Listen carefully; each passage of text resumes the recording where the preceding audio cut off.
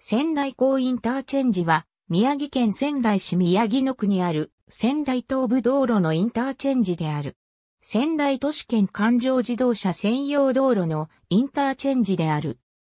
仙台港北インターチェンジが仙台港の臨海工業地区に隣接し、かつ国道45号と接続する形で、すでに開設されているが、東 IC は宮城県道23号仙台塩釜線とその周辺施設により近く、仙台港のコンテナターミナルである高砂ふ頭から一本道で接続できる形で建設が進められていた。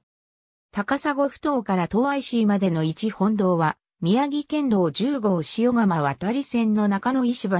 交差点から鴨日本木交差点までの区間だけが片側1車線のままだったが、東 IC の供用開始に合わせて片側2車線に拡幅工事が行われた。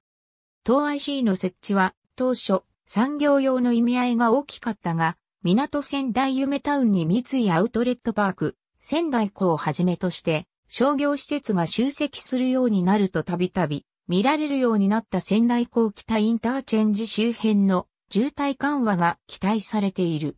2006年7月31日、インターチェンジ設置のための用地買収に着手したと発表。